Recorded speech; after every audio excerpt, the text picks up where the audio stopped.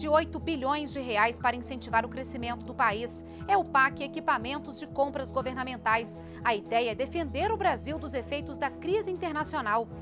Nenhum país do mundo hoje se permite uma política fiscal que não leve em conta, sobretudo, investimentos. Serão comprados mais de 8 mil caminhões, 8.500 ônibus escolares, além de retroescavadeiras. Veja também nesta edição do NBR Notícias. Segurança reforçada em Alagoas.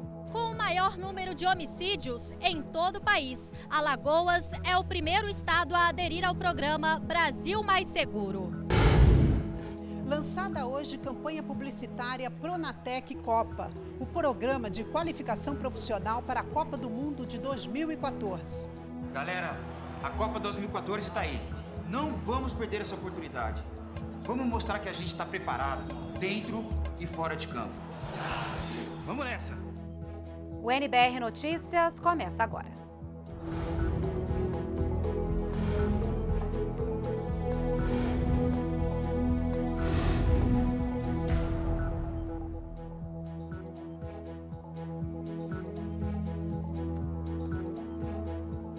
Olá, boa noite. Aumentar os investimentos para evitar que os efeitos da crise financeira atinjam o Brasil. Hoje foi lançado o PAC Equipamentos, que vai aquecer a economia com mais de 8 bilhões de reais em compras governamentais.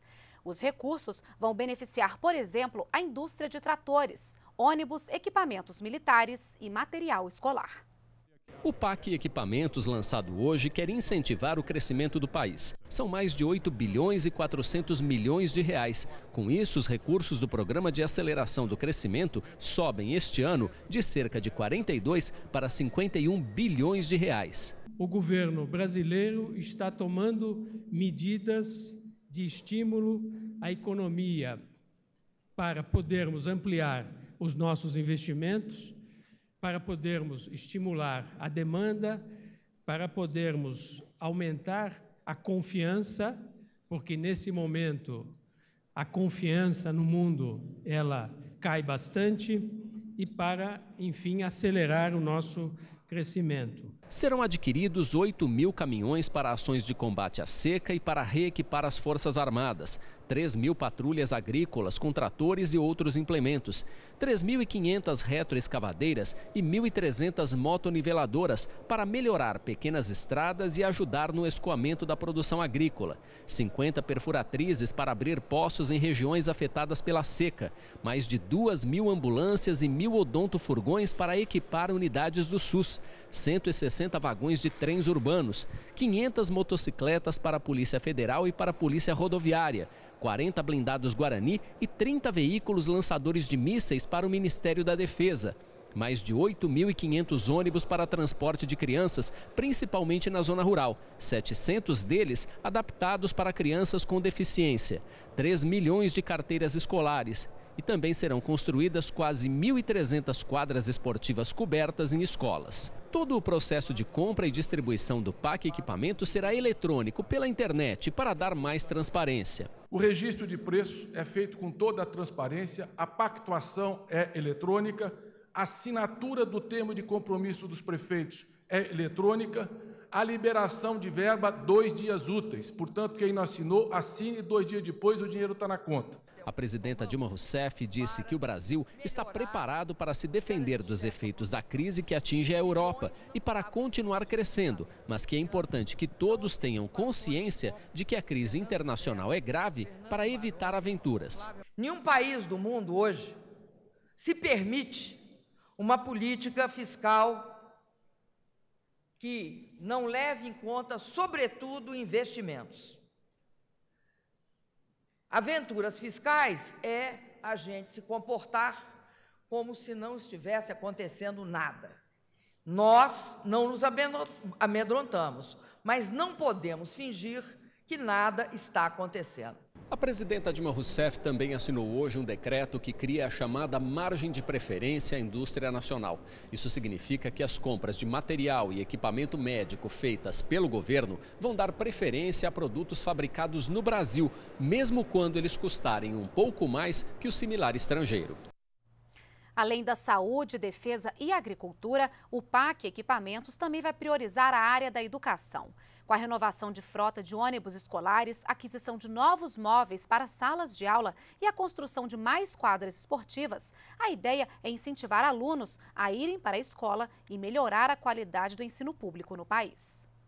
Os ônibus escolares parados na porta do Palácio do Planalto indicavam que a educação está entre as prioridades do PAC Equipamentos. Os quase 500 prefeitos que assistiram à cerimônia também puderam ver de perto os modelos das novas mesas e cadeiras escolares. São quase 3 milhões de novos móveis que vão beneficiar 7 milhões de alunos. Os móveis escolares expostos aqui no Palácio do Planalto e que vão ser comprados pelo governo consideram o perfil de cada usuário, seja ele um professor ou um estudante do ensino público brasileiro. Nós podemos verificar aqui as diferenças de tamanhos de mesas e cadeiras. Cada uma delas está adaptada à altura de jovens e crianças e também a pessoas com deficiência.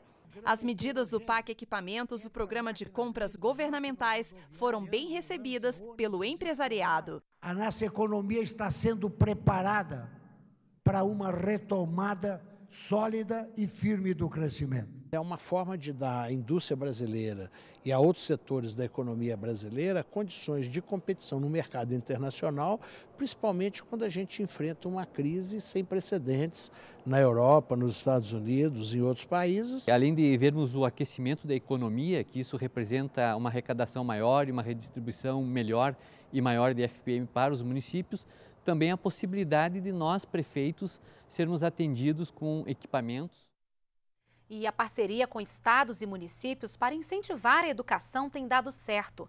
Na cidade ocidental, em Goiás, a construção de uma quadra poliesportiva mudou a rotina da cidade. Entre a creche e a escola, um espaço que levanta o ânimo da criançada. É na quadra poliesportiva que os alunos brincam, jogam bola e se escondem do sol forte. Vanessa aproveita os momentos de recreação para brincar com as amigas. Eu brinco com a Élica, com a Camille e brincar a Thalita. Eu brinco de pega-pega, brinco de pique-esconde e às vezes eu brinco de correr das minguinhas. Além de atender semanalmente mil crianças de 2 a 12 anos que estudam na creche e na escola, a quadra também serve como espaço de integração da comunidade. Após o horário de aula, toda a comunidade eles têm, eh, eles fazem treinamentos de futebol, existem é, trabalhos comunitários aqui, como aulas de karatê, aulas de capoeira e aulas, aulinhas de escolinha de futebol também. E tem eventos sociais também, como desfile de moda, são feitos aqui. Existem festas culturais, como festa junina de algumas quadras que existem aqui na comunidade. Antes eles não tinham espaço cultural e social. E hoje, com a quadra, esse, esse ambiente existe. Inaugurado em agosto do ano passado, o complexo social da cidade ocidental é composto por creche, escola, posto de saúde e quadra poliesportiva. A obra é resultado de um convênio firmado entre o governo federal e o município. Para viabilizar outros projetos de creches e quadras pelo país, o governo federal liberou quase 90 milhões de reais. Para o secretário de Esportes do município, os investimentos já trouxeram mudanças. Esse espaço ele abrange uma importância muito grande, ele traz qualidade de vida, porque é um espaço fechado e coberto, independente de sol ou chuva, sempre o projeto vai estar acontecendo. Ele dá a oportunidade do pai vir participar, dá tranquilidade para o professor trabalhar, dá tranquilidade para os pais deixarem seus filhos vir um projeto desse aqui. Mais informações sobre esses recursos específicos para a construção de creches e de quadras esportivas estão no site do FNDE, o Fundo Nacional de Desenvolvimento da Educação. E para aumentar o número de leitores, serão oferecidas bolsas de literatura em todo o país. A iniciativa faz parte do Plano Nacional do Livro e Leitura. Quem tem os detalhes ao vivo é o repórter Adilson Mastelari, que está no Palácio do Planalto. Adilson Mastelari, boa noite. Boa noite, Renata. É, no total, são 50 bolsas de literatura e, com isso, o Ministério da Cultura quer chegar àquelas regiões do país onde os índices de leitura ainda são muito baixos. E para a gente saber mais sobre isso, eu vou conversar aqui com o Jorge Teles, que é o coordenador geral da Economia do Livro da FBN, a Fundação Biblioteca Nacional. Bom, são 50 bolsas aí para ser dividida, divididas com duas categorias. Exatamente. Nós estamos estimulando a produção dos livros e, por outro lado, a difusão desses livros. Para a produção dos livros, nós temos 30 bolsas de 15 mil reais. Elas são focadas em novos escritores, pessoas que escreveram até dois livros, e eles trabalharão seis meses num projeto de um novo livro. Então nós teremos mais livros disponíveis para leitura. O outro é circulação literária, que são 20 bolsas, são 40 mil reais para produzir, por meio de intercâmbio entre artes, a literatura nos territórios da cidadania. São é, só jovens escritores que vão poder participar. Aqueles que forem contemplados com as bolsas, como é que eles vão atuar? Os escritores terão que apresentar um projeto explicando a metodologia de trabalho para que eles escrevam seu livro, que pode ser um conto, uma crônica, uma novela, um romance, poema, e eles vão dizer como trabalharão durante seis meses. Pode ser com pesquisas, com coletas, entrevistas, e no espaço de três meses terão que fazer um relatório explicando como está e ao final de seis meses entregar o livro pronto. Para participar do edital é pela internet? Sim, no site da Biblioteca Nacional, que é www.bn.br, há as fichas de inscrição para participar tanto do edital de criação quanto do edital de circulação literária. Qual é o prazo desse edital? O prazo do edital é exatamente 2 de agosto. É interessante que as pessoas entrem no site o mais rápido possível para que não tenha nenhum problema e o projeto possa chegar a tempo para análise. O edital já está disponível. Ambos os editais estão disponíveis no site da Biblioteca Nacional e é importante que as pessoas apresentem os seus projetos antes do dia 2 de agosto. Muito obrigado pelas suas informações. Portanto, jovem escritor, aproveite aí essa oportunidade para apresentar o seu projeto. Renata. Obrigada pelas informações, Adilson preço das passagens de ônibus interestaduais e internacionais será reajustado em 2,7% no próximo domingo, 1 de julho. A medida vale para percursos com mais de 75 quilômetros e foi autorizada hoje pela Agência Nacional de Transportes Terrestres, ANTT. O reajuste é anual e leva em conta a distância da linha, os impostos sobre o setor e o tipo de serviço. As informações estão na internet. E começa nesta sexta-feira o prazo para as inscrições nos cursos do Pronatec Copa. Serão 40 mil vagas destinadas à formação de profissionais do turismo para atuar no Mundial de 2014. Hoje foi lançada oficialmente a campanha que vai ao ar em rede nacional na sexta-feira. Há dois anos da Copa, o meio empresarial já prepara funcionários para receber muito mais turistas, principalmente os estrangeiros. Neste restaurante em Brasília, trabalham 70 empregados. Uma parte já começou a fazer curso no local de trabalho. Aqui, uma das prioridades é saber falar inglês e o pessoal mostra que está se esforçando para aprender. Thank you very much. Uh... Muito obrigado. Welcome, seja bem-vindo. Thank you, obrigado. Bares e restaurantes são pontos de encontro de muitos turistas. E se quiserem fazer sucesso na Copa, cozinheiros, garçons, gerentes, além de saberem dar as boas-vindas, vão precisar estar muito bem informados sobre o que a cidade oferece de bom principalmente no que se refere à cultura local. Sempre termina querendo uma informação a mais, algo mais complementar, né? Ele termina sempre perguntando onde é tem uma, uma outra atração, um ponto turístico, né? E você oferecendo esse, esse tipo de informação, com certeza ele vai se sentir bem melhor, bem melhor acolhido, né? Vai falar melhor do país, melhor da cidade, vai incentivar ele a voltar, né? Vai ser uma boa, uma boa impressão, né? A atividade turística emprega hoje no país cerca de 2 milhões e 800 mil trabalhadores formais e a importância do turismo aumenta a cada ano. No ano passado, desembarcaram no Brasil quase 5 milhões e 500 mil estrangeiros. Já os desembarques domésticos de avião aqui dentro do país somaram 79 milhões no ano.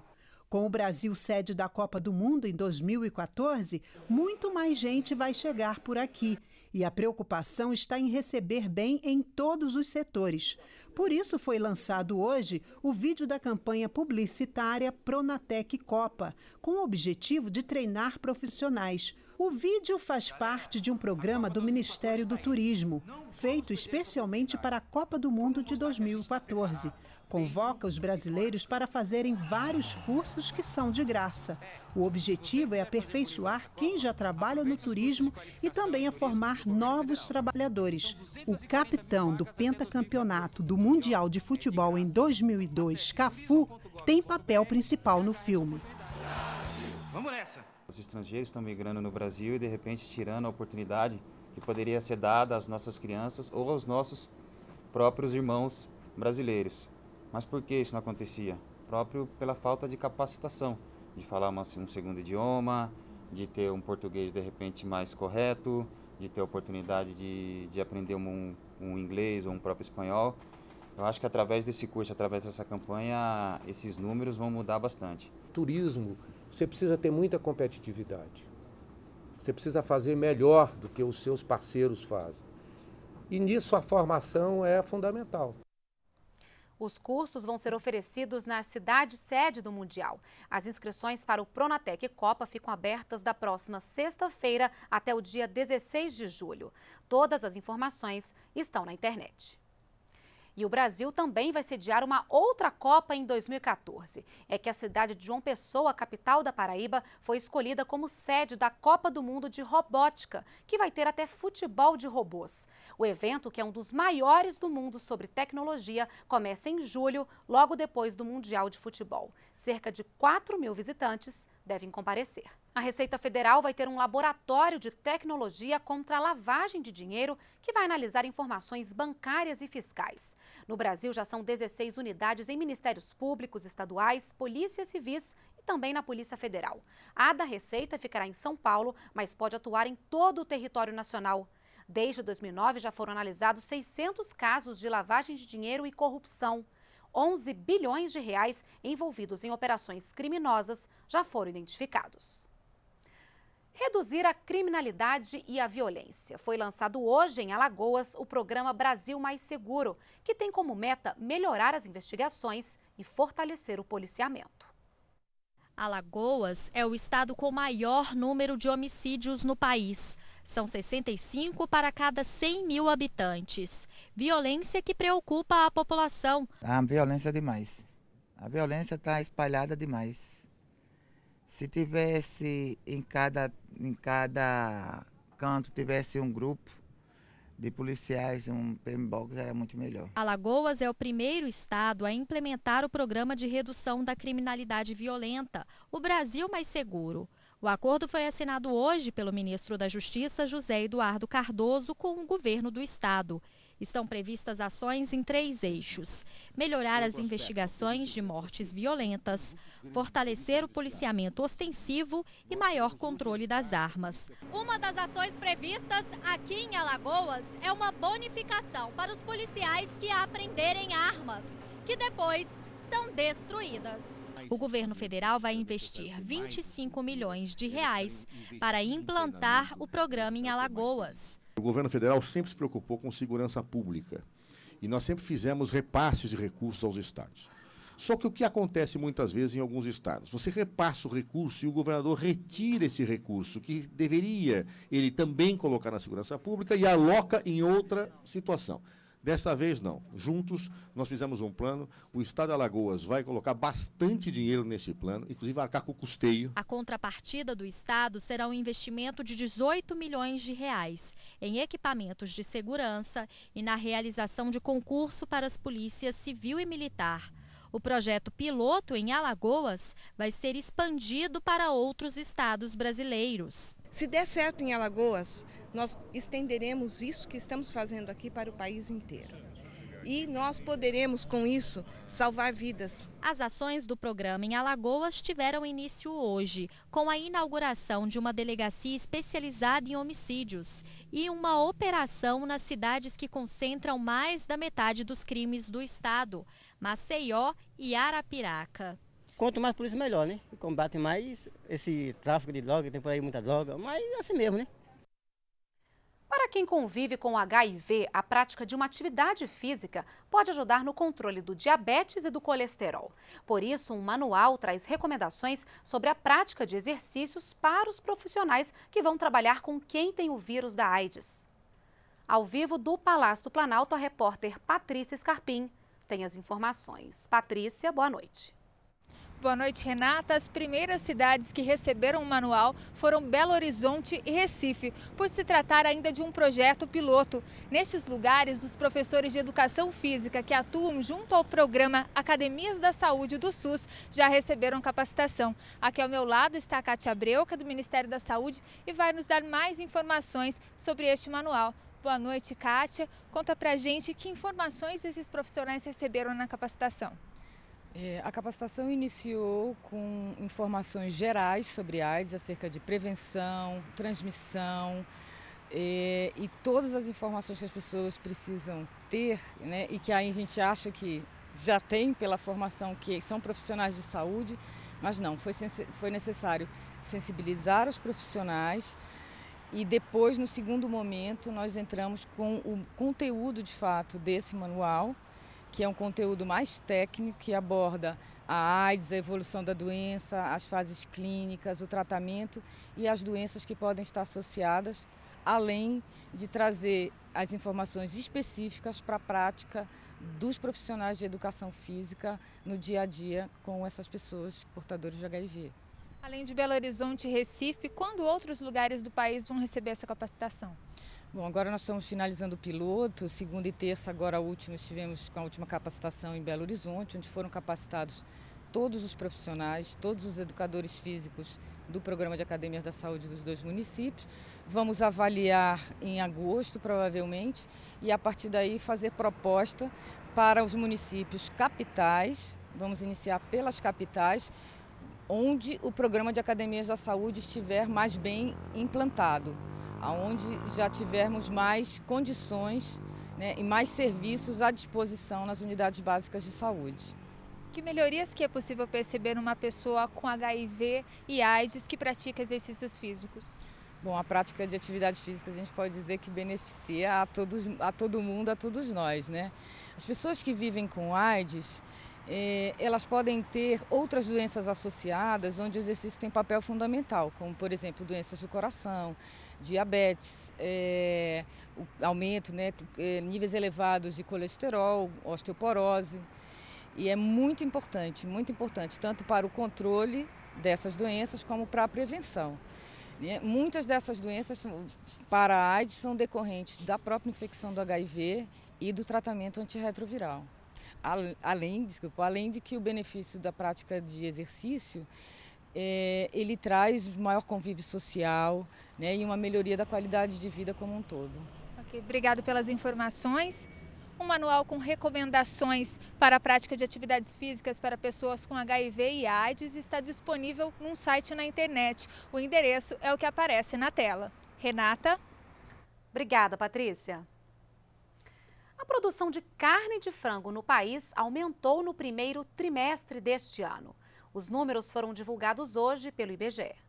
No primeiro trimestre do ano, o abate de aves cresceu 4,3% em relação ao mesmo período do ano passado. As exportações de frango também aumentaram. O mesmo aconteceu com a produção de ovos, que ultrapassou 670 milhões de dúzias. Já o abate de bovinos e suínos teve queda em relação ao último trimestre, mas superou os três primeiros meses de 2011.